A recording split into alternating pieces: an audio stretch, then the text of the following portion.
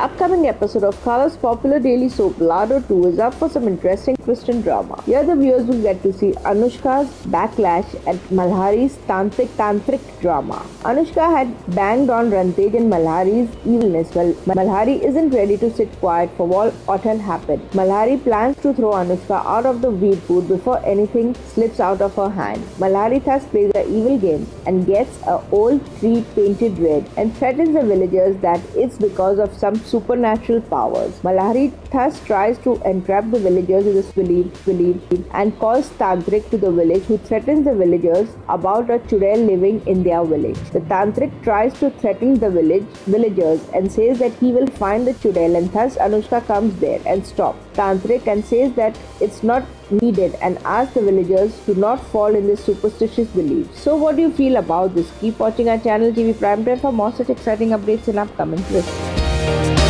Thank you.